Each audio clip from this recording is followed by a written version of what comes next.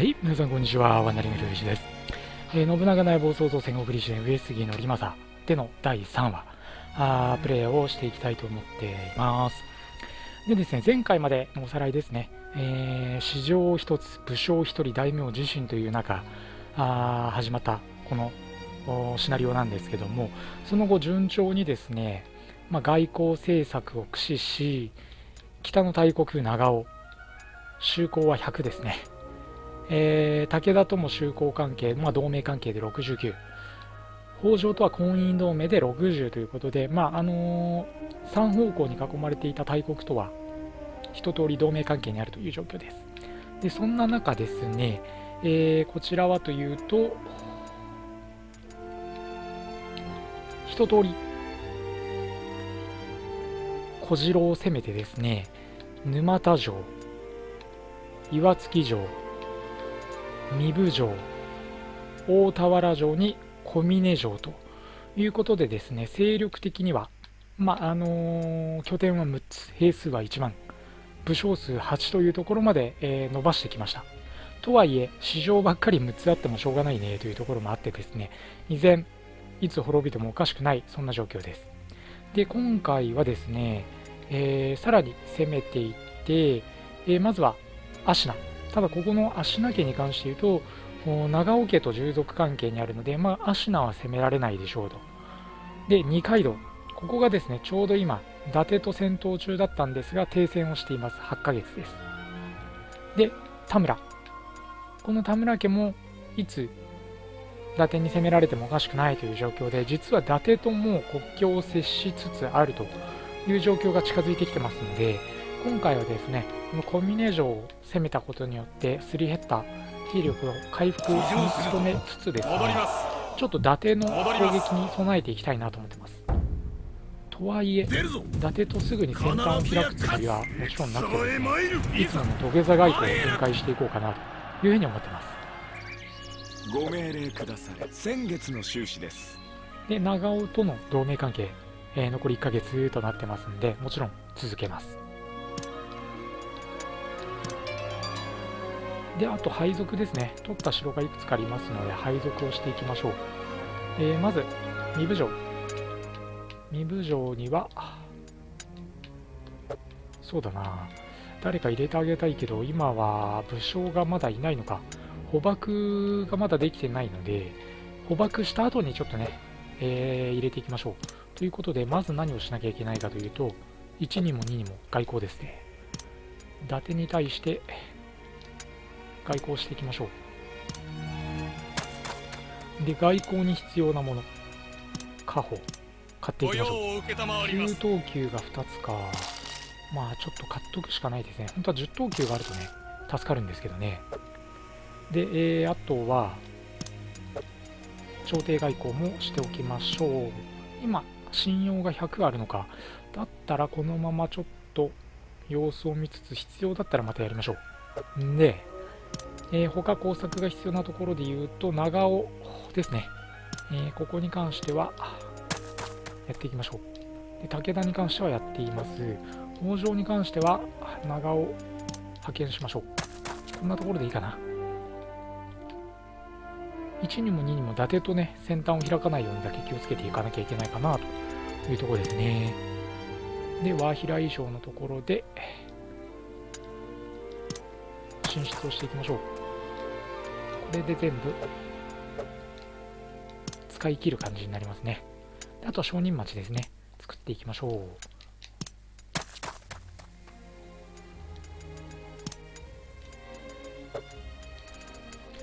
制作か、なんかできるもの政あるかな策を執り行います特にないよね。制作するぐらいだったらお金をまだ今の時点では持っていた方がいいかなぐらいな感じですよね。よし、じゃあこれでターンを送っていきます。出陣します出陣するぞ我が戦で、これおでやっと見せしましょう白川家の武将たちが配下に加わりました。なんか音楽が変わったな。これはなんか攻めてくる流れじゃないか。ちょっと援軍の要請をしましょう。にゃ、遠すぎて無理だな。となると、やっぱり頼みは北条か。ちょっとこの小峰城に援軍を要請しましょう。なんか小峰城が攻められてる雰囲気ですよねこれ。伊達の軍勢が来てますけど二階堂家は現在伊達と停戦中なのでどう考えてもこの上杉領に侵攻してきてるとしか思えない。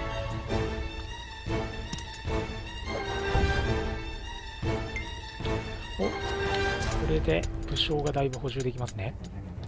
次のターン。腕が鳴るぜ！シカッと配置していきましょう。でベニちゃんがいますということでこれは姫にしましょう。ご命令を先月の収支です。報告します。でここでようやく配属ができますね。小峰城にそうだな白川を入れていきましょうか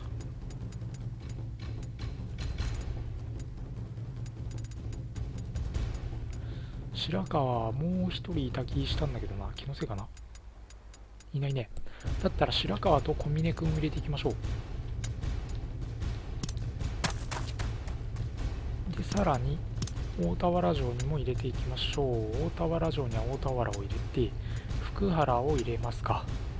あと吉賀君も入れますかね。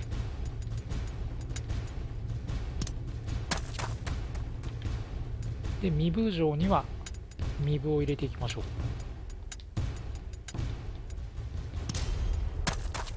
こんなところでいいかな？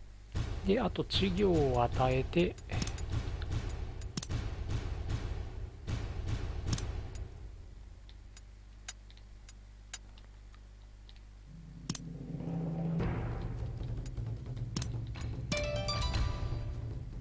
統治を任せましょう。んでだこっからですね。おなんか音が変わったぞ。これは攻めてこなくなったってことかな？ちょっとこの 伊達がどう動こうとしてるのかが全然わからないですね。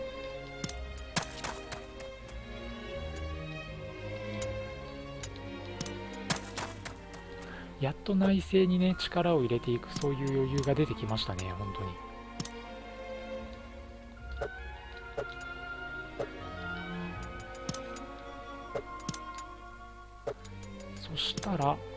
外交で早速贈り物攻撃をしておきましょう。敵視されてるんで伊達には。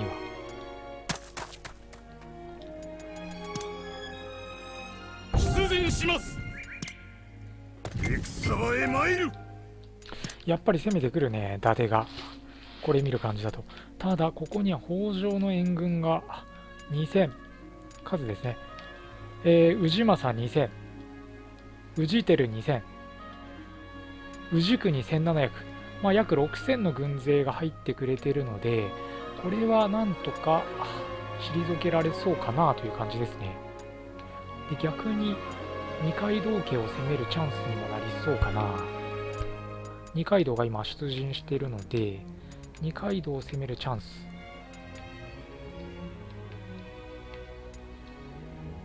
ですね。ちょっと兵を蓄えて二階堂攻めに備えましょう。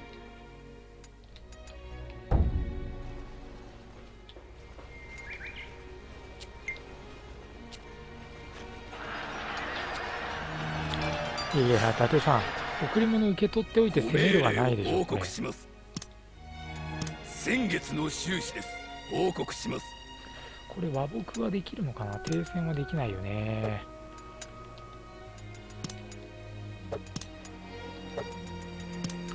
なるといざという時のためにちょっと軍勢を派遣することを考えておいた方がいいかなおこれで敵は去っていったので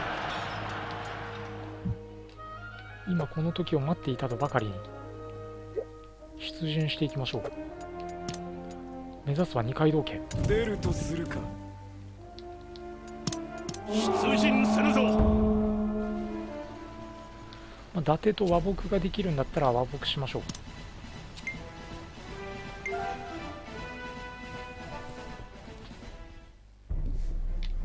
でここは斎藤道さんと義達の話ですね。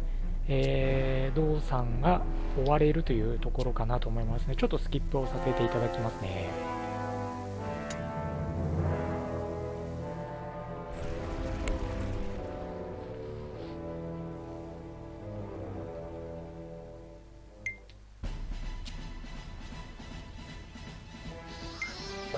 で念のためですね、えー、小詰めとして養生を始めます。報告頼します。政自身も先月の収支で出陣をすしていきましょう。で外交状況はというと工作中工作中工作中長尾武田北条に対しては工作中ですね。んで、えー伊達に対しても工作中ただ停戦残り1ヶ月。なるほどであればやっぱり一刻も早く二階堂を取って防波堤にしたいところですね。で二階堂を取れば長尾家からも援軍が頼めそう。で芦名を攻めてしまうことはできないので芦名長尾北条から援軍が見込めますね。悪くないですよ。では則政出兵させていきましょう。総大将ですからね。何？兵糧不足か？兵糧が？全然ないと。なるほど。では兵糧を買っていきましょう。いやー兵糧を買うことになるとはご思わなかったな。承ります。これでどんくらいの兵が出せるかですね。1800か。で今は6月収穫までっとありますね。お見せしましょうちょっと畑とかを重点的に作っていかなきゃいけないかな水田畑。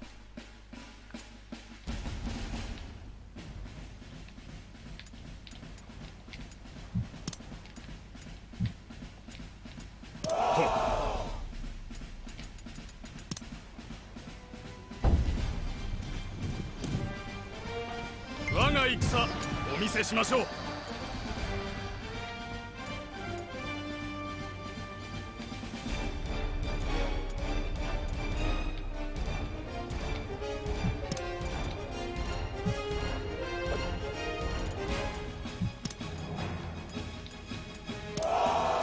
れで二階堂を取りたいけど伊達がどう動くかだな。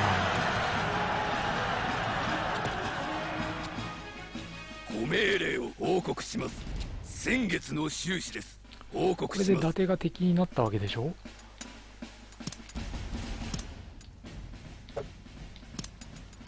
伊達とはどうにもならないからそうなると援軍を要請しておきましょう。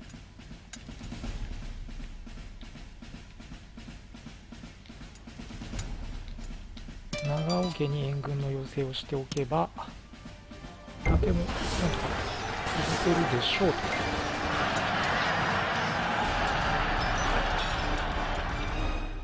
でこれで伊達が来るね。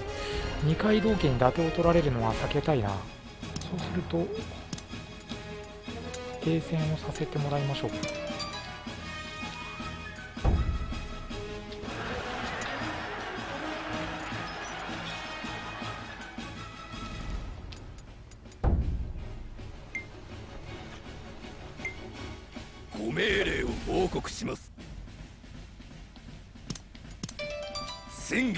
月の収支です。報告します。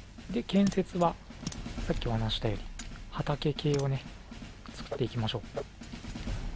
水田畑系ね。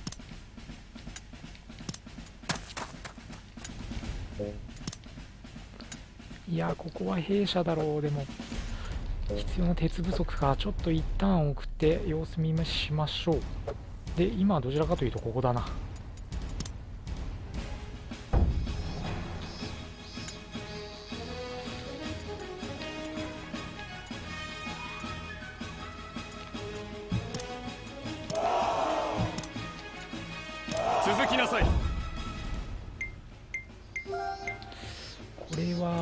は伊達も狙ってて。どうにもならない状況だな。一旦兵を返しますか。へ戻るぞ。二階堂がうまく伊達とつながって攻めさせないようにさせてるな。こうなるとちょっと伊達は邪魔くさくなってしょうがないね。どうしようかな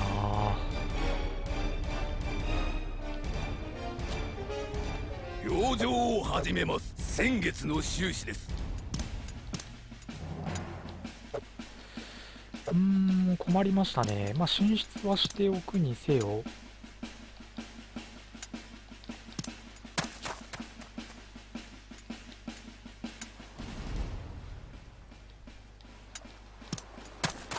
二階堂をどう料理するかっていうのがちょっと思い浮かばないな。伊達との停戦が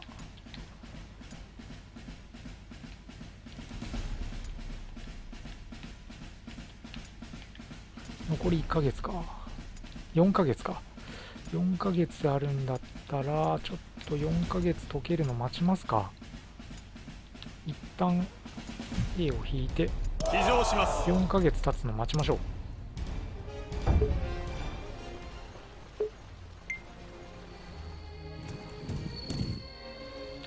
でその後伊達がどう動くか報ですね先月の収支です。報告します。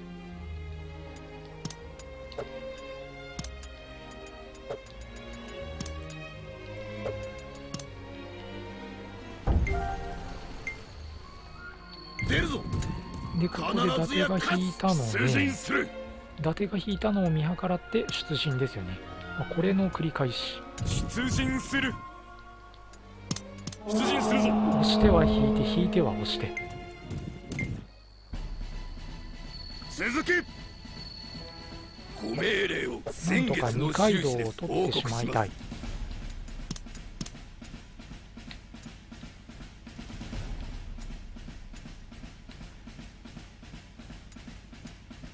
達とはどうにもならなくなっちゃったのかな？残り2ヶ月。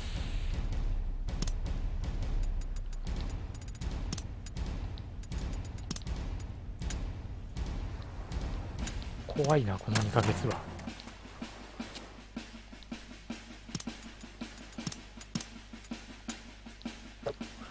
たたら場を作っときましょうかそしたら。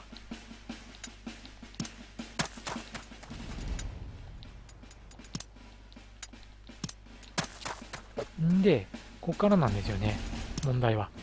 また伊達が援軍を出してくるのかどうか。出陣します。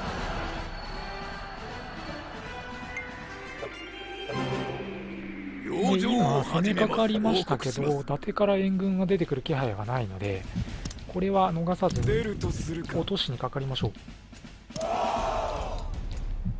出陣するぞ。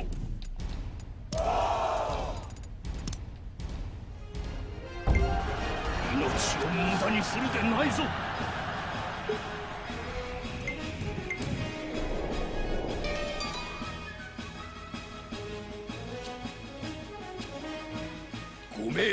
報告します。で先今月の二収支です。階堂を攻めていて、えー二階堂の耐久が2000で味方の兵力はまあそこそこいますけどね。ただこのままだとちょっと時間がかかって伊達がどう動くか全くわ出からない。と言っていたら田村家から援軍が来てるね。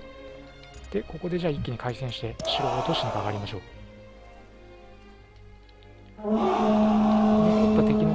決して多くはないですからね。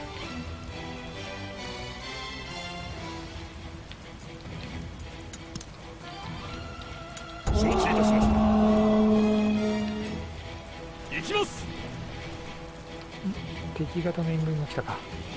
で敵があっちから来るのね。ここは引きます。行きます。まあ一刻も早く城門を突破して中に入り込みましょう敵城門突破しました。これで決めます。この戦我らが制す決着。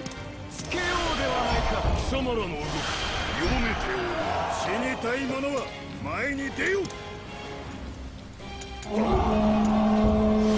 域全てを込める。引き際吉賀が撤退したか。ただまだそれでも数では圧倒的にこちらが有利ですね力攻めで問題ないでしょう。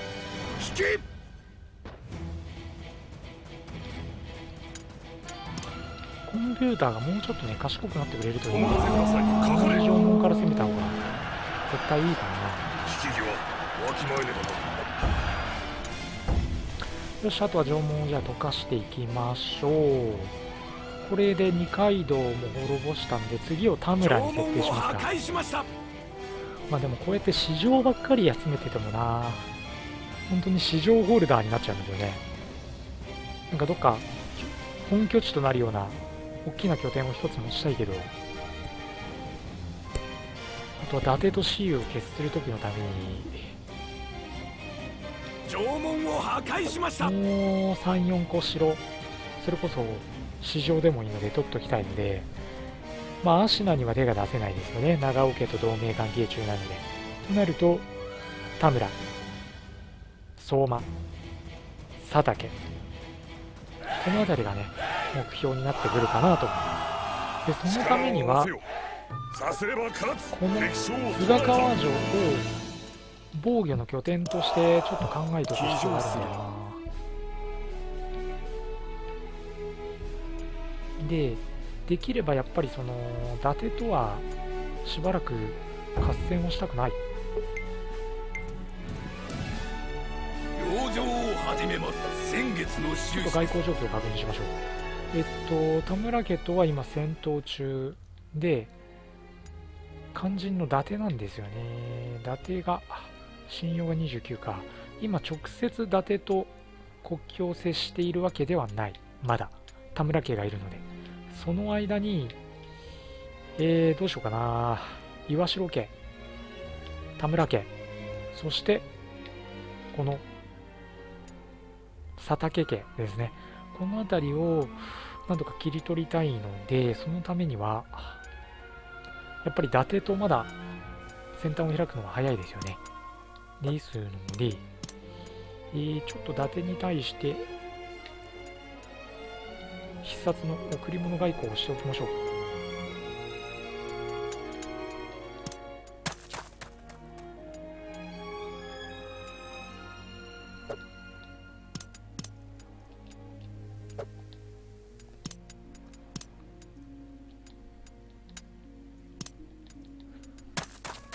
んであとは取引で。うーん家宝がない。家宝すはねもう常に欲しいですからねいざっていう時にすぐに。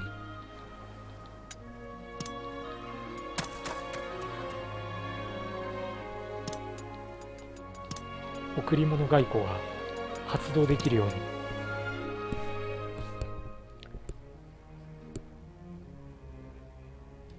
でそうなると次ですよね、えーどうしようかな。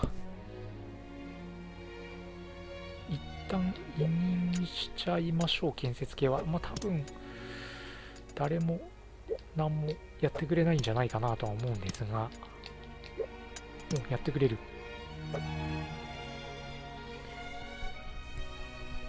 伊達と同盟を結ばないとちょっと田村を攻められないですね怖くて。かといって伊達に先に田村を取られるのも敵が我が領内にで向かっております。義明が2600で大田原城に向かってきていると。これは援軍の要請をしましょう。北条に対して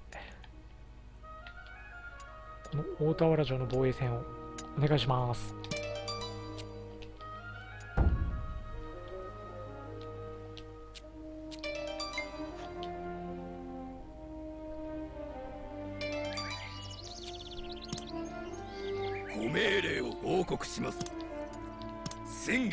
終始です。報告します。そうなってくると伊達との同盟関係がどうなってるかっていうと、えー信用が35まで来たのであともうちょっとですね。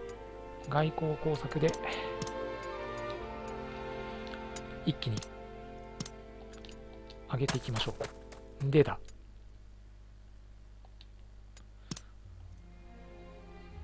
佐竹が大田原に攻めてきているもののここに関して今すぐどうこうする必要はないかなと思いますので、北条に援軍を要請しましたからね。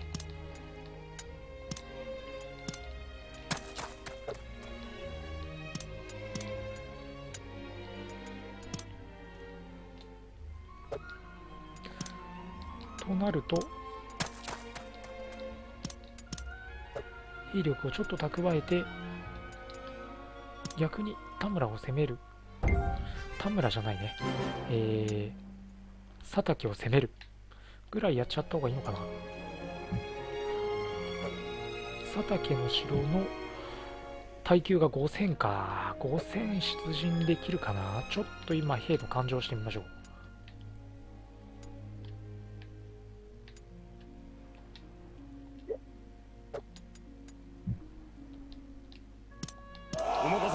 が1000か。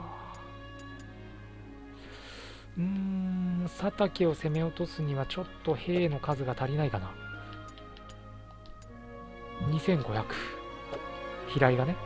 岩槻が1800壬生が1200大田原は今出兵中で兵はいない。ともうちょっと我慢して先に田村を落とした方がいいね。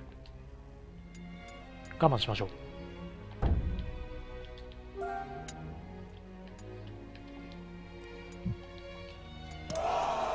佐竹はどうしても落としたいな。武将がだいぶ補充できますしね。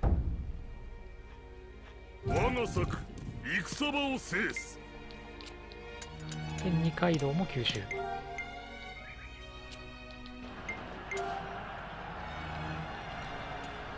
ここは伊達と佐竹。うん。清水北条の清水と佐竹義明が戦闘してくれていてここでうまく乗り切れればちょっと待って待って待って敵に囲まれるなんてごことある？援軍？先北条さんはそうか。おおそういうこと？そうか。佐竹は北条と同盟関係にある。そういうことだよね。2ヶ月間の同盟関係にある。よって、えー守ってくれない。なるほど。であれば自ら守るしかない。そういうことか。やられたな身分からも兵を出さざるを得ないな。出陣するぞ。ここで大田原が落とされるわけにはやっぱりいかないですからね。せっかくせこせこここまでまあ飛び地的な感じであんまりいい領土の拡大ではないですけど拡大してきましたからね。ここはなんとか死守しに行きましょう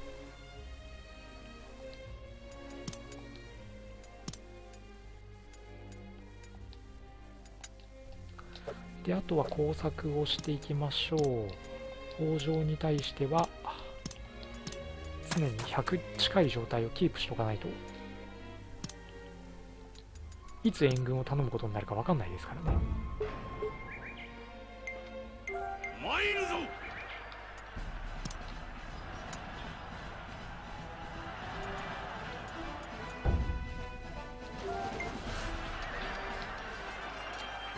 これで佐竹を撃滅したら伊達との外交状況ちょっと鑑みて。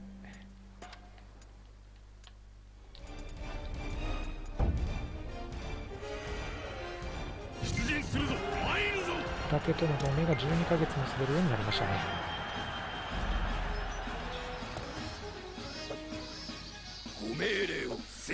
ちょっとずつですけど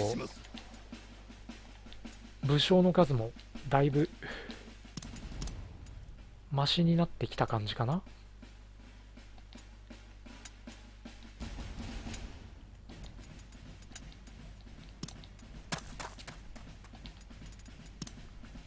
大田原城がちょっと怖いな。大田原城はとはいえ北条が守ってくれたので、えーこの後は伊達と24ヶ月の同盟を結んだら田村家に攻撃を開始しましょう。で戦今ちょうど伊達と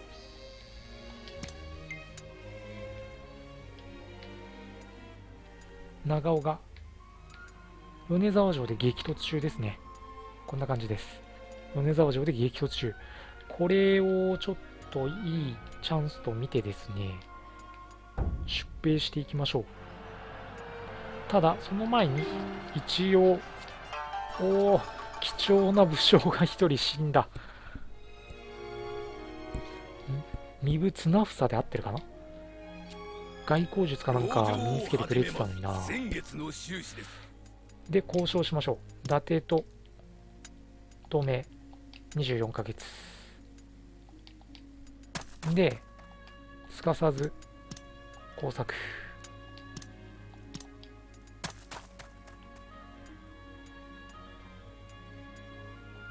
となると、この後する行為といえば、出陣ですよね。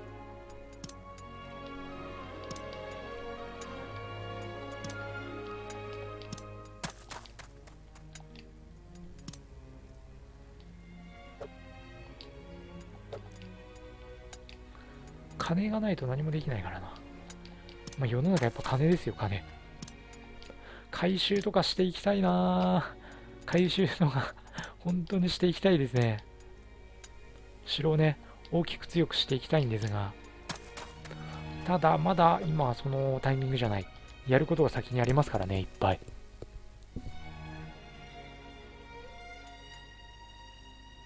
進出ができないのであれば、ここで初めて出陣していきましょう。目標は田村家。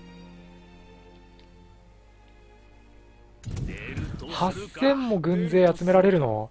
いやーなんかだいぶ心強くなったな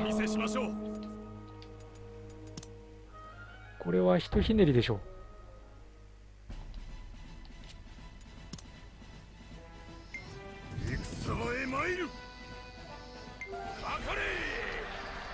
よし伊達との同盟もできたのでもう残るはご命令を報告します。報告します。領土拡大だけだな。報告します。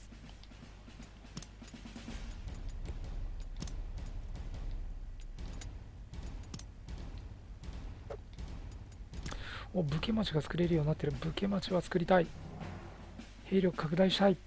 けどまだやめときましょう今やらなきゃいけないことはそうだなどっか回収とかしときますか？せっかくなんで。いやー、でもな、お金ももったいないし、やめとこう。ちょっとね、ここは欲をかかずに、お金を貯めておきましょう。ありがとうございました。むしろ人所とか建てて、地味に人口を増やしていく方がよっぽど建設的な気がするな。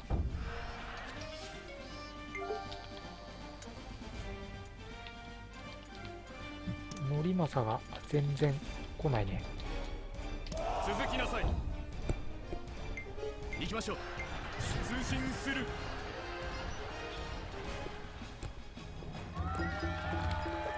豊作になったけど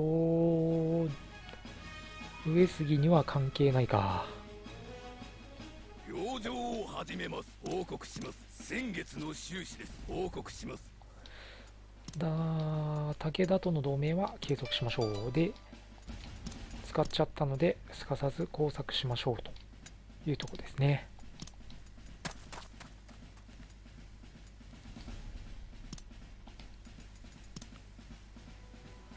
行きましょう。我が策で勝利をつかみます。敵将捕獲しました。敵を追い詰めます。なんかめちゃくちゃ凛々しい声だな。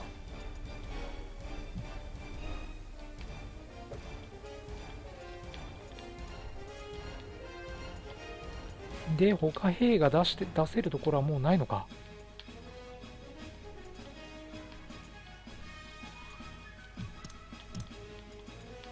なんか8000いた割には全然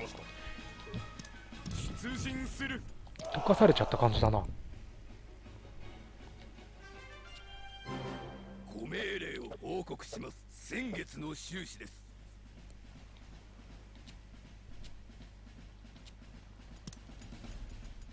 いやー、回収したいんだけどね。お金と、鉄？木材？がないんですよね。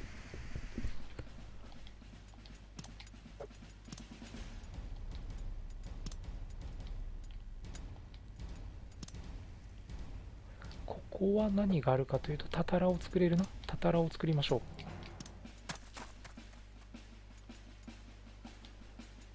う。あとは人所系ですね。もうちょっとでも人口を増やして、兵力を増やしていきましょ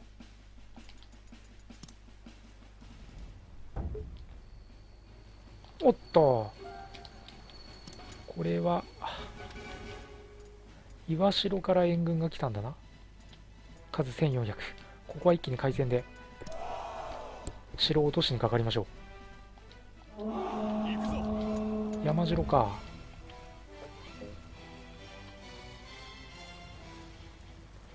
で敵に岩城の援軍が来たと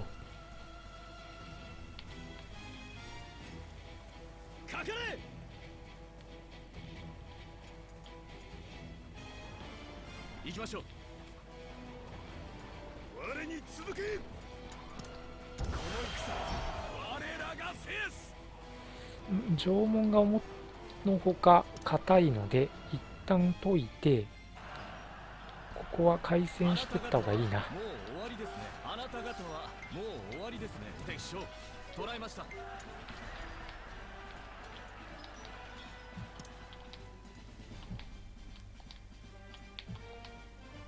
で退路を断つように回り込ませましょ承知いたしまし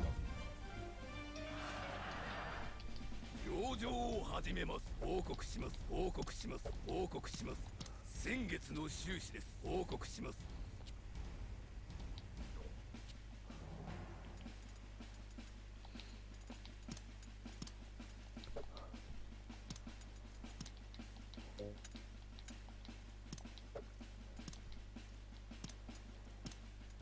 あとはどうしようかな。いよいよ回収をしていこうかなそうなると。まず天守を2層天守まで上げましょう。で外交連合って言ってもな誰を連合にするかっていうのもあるし連合の必要は今のところ認められないですね。ではこのまま行きましょう。鉄がちょっとやっぱ数が足りないですね。全体的に。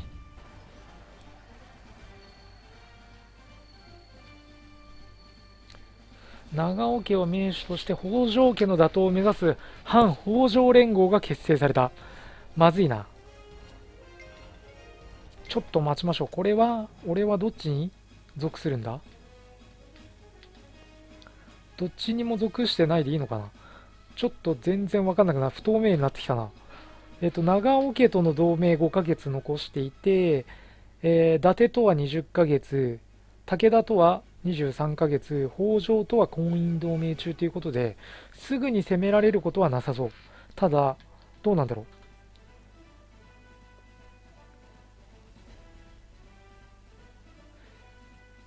ちょっと怖いのが長尾と戦闘にならないかっていうのがちょっと怖いですね。この先。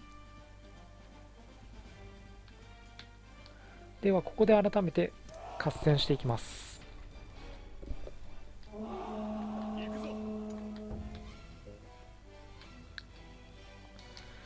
でさっき岩城が攻めてきたので多分もう兵はほとんどいないはずですね岩城に。となるとこのまま岩城も攻めたい。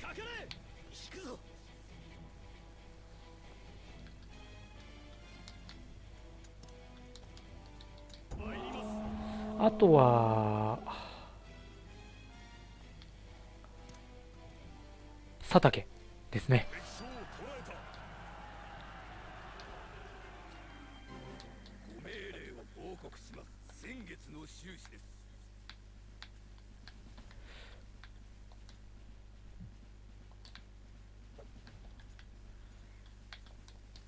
さらに援軍線を出せば蹴りがつくでしょう。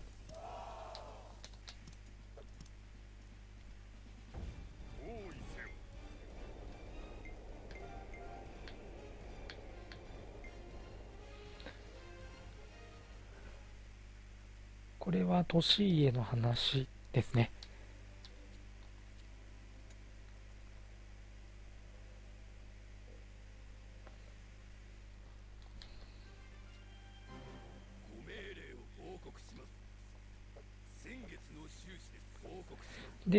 の標的の岩城は風前の灯火と見ていいかな？耐久が1680武将の数もうん兵士の数もそんなに多くはないでしょうこの感じだと。順調に勢力を伸ばしてますね。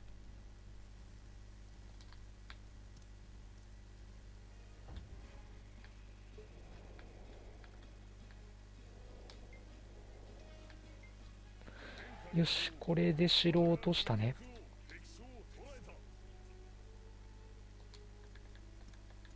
三春城を落としました。で三春城を落としたので一旦兵を返した後に、この岩城城、さらには佐竹。この辺りを取れば、どうだろう、だいぶ勢力的には大きくなるんじゃないかな。なんかちょっと期待が出てきましたね。このまま順調にいけば、あるいは本当に天下への道が開ける、関東制覇の道が開けるかもしれない。というところでですね、ちょっと今回も興奮してしまって時間が長くなってしまいましたので、えー、一旦ここで終わりにしてですね、えー、次回この続きをプレイしていきたいと思います。はい。えー、ご視聴ありがとうございました。この動画が面白いと思った方はチャンネルの登録をお願いいたします。動画の視聴画面の下の方からチャンネル登録することができますので、ぜひよろしくお願いいたします。また、動画の解説欄に Twitter のリンクも貼ってありますので、ぜひ Twitter のフォローもよろしくお願いいたします。